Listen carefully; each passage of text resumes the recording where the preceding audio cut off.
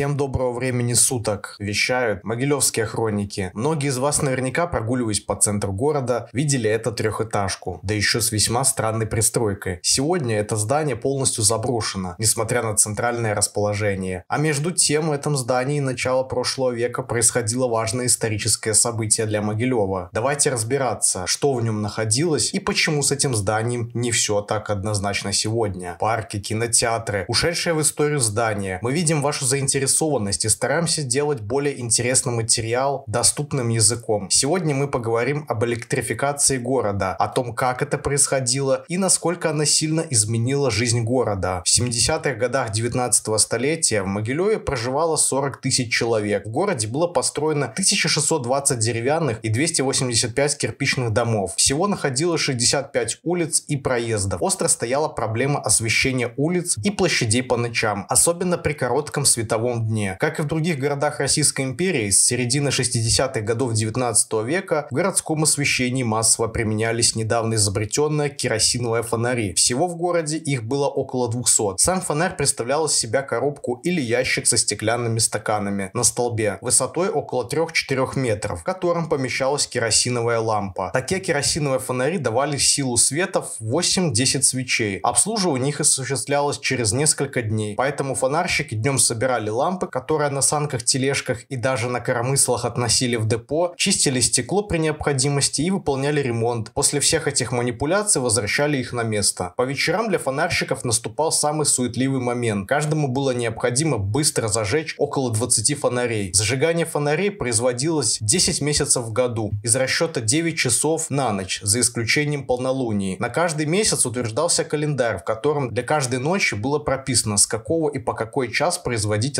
освещение. На центральных улицах города и на мосту через реку Днепр фонари располагались достаточно часто, через каждые 20-30 метров. На окраинах же города фонари стояли на перекрестках и опасных местах. Света такие фонари давали достаточно немного, и современники так описывали пользу данного изобретения. В метель на улицах только изредка виднелись какие-то светлые пятна, и только наткнувшись на деревянный столб, можно было удостовериться, что это уличный фонарь. Тем не менее, керосиновые фонари настолько прочно вошли в жизнь, что детям предлагали решать задачи, сколько нужно времени фонарщику, чтобы зажечь фонари на улице. К 1890 годам в городах империи стало постепенно внедряться электрическое уличное освещение. Керосиновые компании, ощутив конкуренцию с производителями электрических ламп, были вынуждены внедрять изобретения, которые значительно улучшили уровень уличного освещения. После 1903 года появляются калильные сетки и, соответственно, керосинокалильные фонари фонари. Они представляют собой длинный цилиндр, заканчивающийся внизу стеклянным колпаком с рефлектором. Резервуар для керосина помещался в верхней части фонаря. Горючее по трубке стекало вниз в испаритель. Пары керосина выходили из форсунки, смешивались с воздухом и сгорали внутри калильной сетки. При этом сетка раскаливалась и давала свет в 600 и более свечей. Для зажигания фонаря его спускали вниз, на трассу. Спиртом разогревался испаритель. После того, как фонарь разгорался, его подымали. Чтобы погасить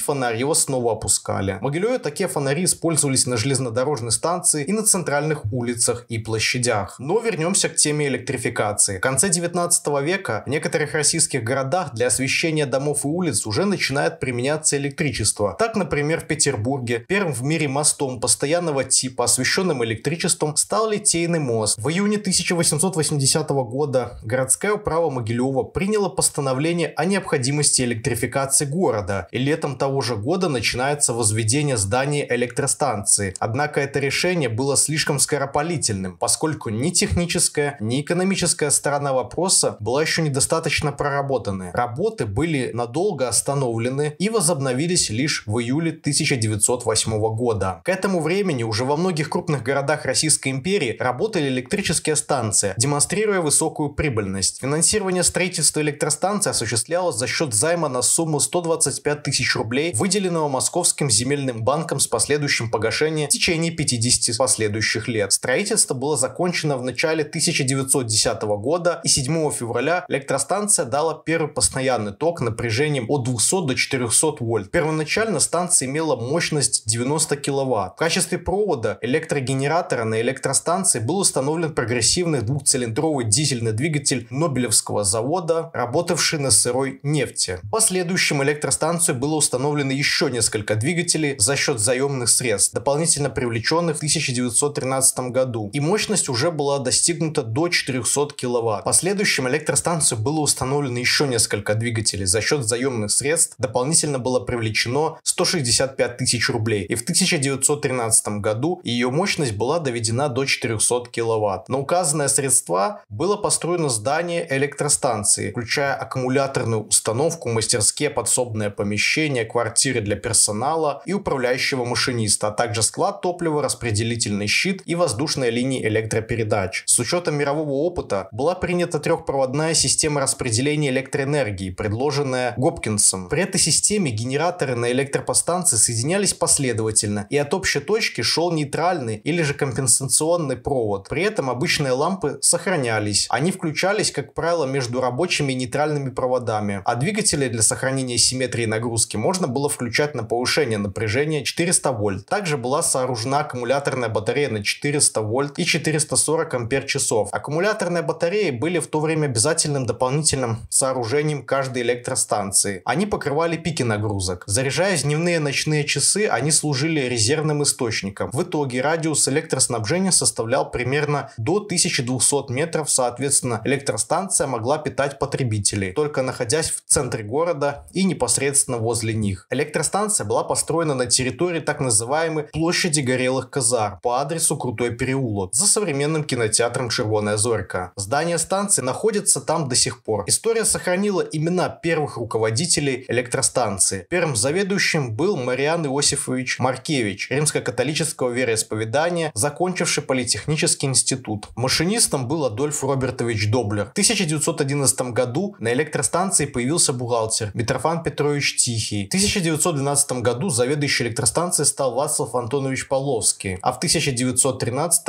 Иван Меркурьевич Булах. С 1914 года на электростанции появился заведующий бухгалтерией, говоря современным языком, главный бухгалтер Иван Федорович Ткаченко. Всего на станции работало порядка 50 человек, в обязанности которых входила эксплуатация и обслуживание дизельных двигателей, ремонт аккумуляторов, воздушных сетей и электросчетчиков. Интересно, что платно осуществлялось устройство электрического освещения у абонентов, а при устройстве вводов оплачивалась только работа персонала. К 1913 году станция снабжала электроэнергией служебные, общественные, жилые помещения, три промышленных предприятия, 12 тысяч электрических лампочек у абонентов, 300 светильников уличного освещения и 90 подворотных ламп. За 1913 год ей выработано порядка 270 тысяч киловатт-часов. Потребление распределялось следующим образом. 71% на освещение жилых и производственных помещений, 11% на работу электродвигателей, 17% на уличное и подворотное освещение. Расход топлива составил порядка 80 тонн сырой нефти по цене около 1 рубля за пуд. Керосин стоил 2 рубля за пуд. Немало трудностей было и с доставкой топлива, поскольку в районе электростанции нет ни железнодорожных путей, ни крупной речки. Исходя из расхода порядка 130 киловатт-часов в год на один электрический фонарь уличного освещения, можно было предположить, что применялись лампы накаливания мощностью около 60 ватт. Судя по всему, часть керосиновых фонарей попросту были переделаны под электрические, а вновь устанавливаемые по внешнему виду не отличались от старых керосиновых. Учитывая специфику тогдашнего потребления электроэнергии, 88% производственной электроэнергии расходовалось на освещение, максимум нагрузки был вечерние и утренние часы, а низкая нагрузка электростанции в дневное и ночное время. Поэтому после 24 часов машины останавливались и город оставался на питании от аккумуляторной батареи. С целью повышения нагрузок в дневное время тариф для работы электродвигатель был установлен на уровне чуть выше себестоимости. Плановая прибыльность станции на 1914 год составила 37,5%. На начало 1913 года у абонентов имела значительная задолженность за устройство электрического освещения. Процент оплаты составил около 70%, за отпущенную электроэнергию 68%, за прокат электросчетчиков около 80%. Видимо, именно проблемами с неплатежами объясняется и появление бухгалтера, а потом и заведующего бухгалтерии на электростанции. Что же поменялось в жизни горожан с появлением электростанции? До появления керосина освещение жилья было очень дорогим. Как правило, это были либо свечи, либо лучина. Керосиновые лампы значительно удешевили и улучшили освещение жилья. Однако с их появлением население максимально использовало дневной свет. Если же ребенок вечером делал уроки при керосиновой лампе, в этой комнате собиралась вся семья, мать шила, отец читал газету, дети играли. Впрочем, керосиновые лампы обладали рядом недостатков. В брошюрах, популяризирующих электричество, подчеркивали следующие недостатки керосиновых ламп. При их опрокидывании возможен пожар, и они только загрязняют воздух продуктами горения, что может плохо сказаться на здоровье. От них портится и интерьер, и одежда из образующейся сажи и пыли. Лампу долго разжигать. Электрическое освещение, напротив, пропагандировалось как не требующее дополнительного ухода на заправку, регулировку,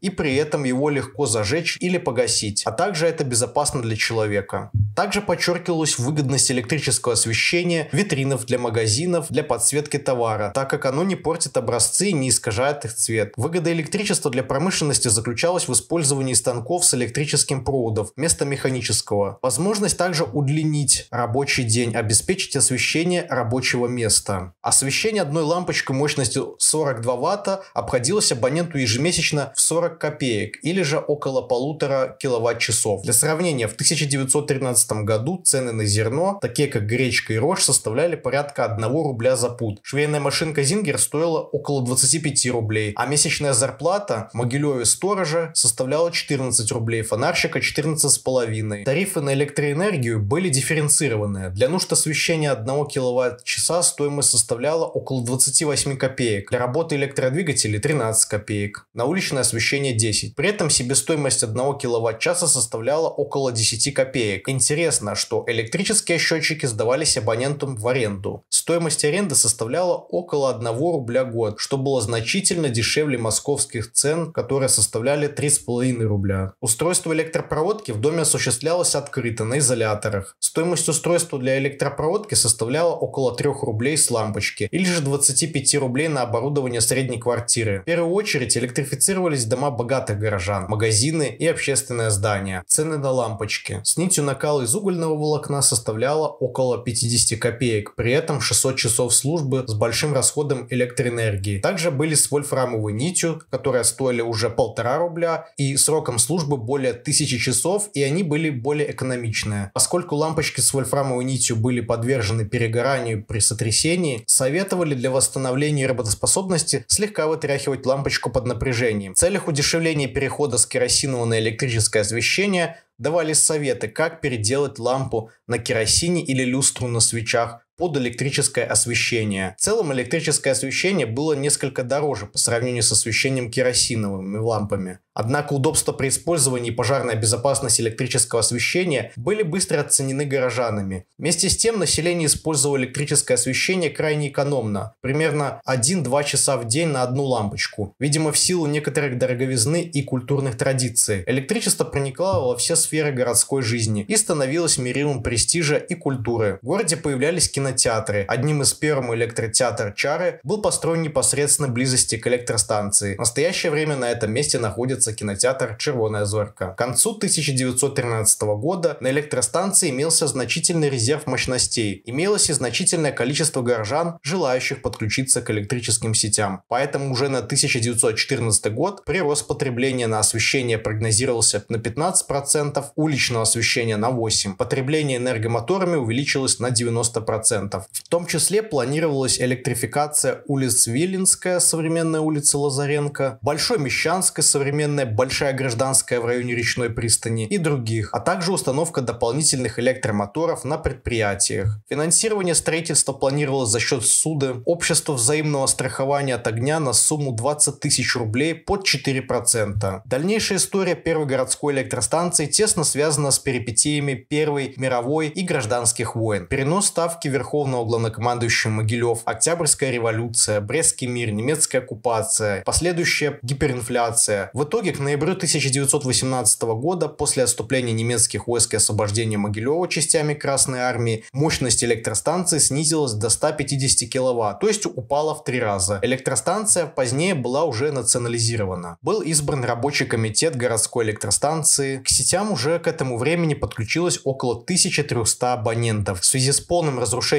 хозяйственных связей внутри страны, отсутствие нефти для работы электростанции на полную мощность, была предпринята попытка лимитировать отпуск энергии. 8 киловатт-час на одну электролампочку мощностью 25 Вт по цене 6 рублей в месяц. При потреблении электроэнергии без счетчика 45 рублей в месяц. Цены на ноябрь 1918 года. 15 января 1919 года последовало ограничение работы электростанции. Электроэнергия подавалась с 7 до 9 утра и с 6 до часа ночи ежедневно. А с 19 января 1919 года отключены от электроснабжения все потребители, кроме советских учреждений, которым электроэнергия поставлялась по заявкам. В июле 1919 года в целях экономии нефти на электростанции был установлен локомобиль, паровая электросиловая установка на твердом топливе мощностью 150 кВт. С окончанием гражданской войны жизнь входила в мирное русло, и к концу 1924 года мощность электростанции была доведена до 400 кВт, то есть достигла значений 1914 года. Количество абонентов составило уже 2300 человек. Достаточно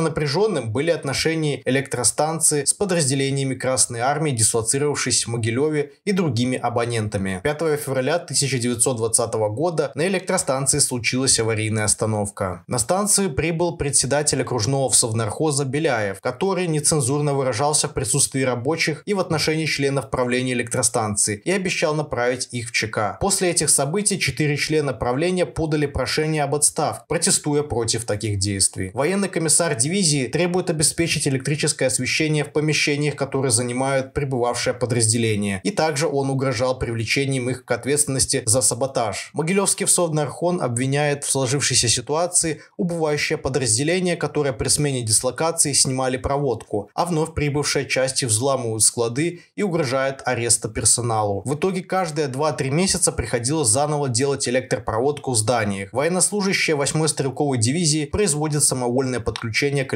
электрической сети. Электростанция прекращала отпуск электроэнергии с 18 до 22 часов вечера в целях экономии топлива. Чугунно-литейный завод выполнял заказы воинских частей и просил электроснабжение до 21 часа вечера соответственно. Ответ электростанции предлагает снабжению армии предоставить дополнительное топливо пропорционально выработке. В августе 1928 года станция была расширена. Был установлен дополнительный новый мощный двигатель для станции и мощность производимой энергии выросла уже до 950 кВт. К этому времени город был электрифицирован примерно на четверть, а численность населения в нем составила уже более 50 тысяч человек. Электроснабжение Могилева значительно улучшилось после того, как в 1930 году он стал получать электрическую энергию по линии электропередач напряжением 110 кВт от возведенной подоршей Белгрэс. В том же году для электроснабжения шелковой фабрики и ее поселка было начато сооружение теплоэлектроцентрали современный ТЭЦ-1. Ее первый турбогенератор мощностью 5000 кВт был введен в эксплуатацию весной 1933 года. В сентябре 1933 1993 года городская электростанция была закрыта, а здание было перестроено под жилой дом. Примерно в это же время было ликвидировано керосиновое освещение улиц города. Часть помещения бывшей электростанции использовалась Могилевскими электрическими сетями до 70-х годов 20 века. В настоящее время здание электростанции признано находящееся в аварийном состоянии. Жильцы выселены. Так и стоит здание с тех времен в центре города, спрятавшись за новыми современными постройками. Сносители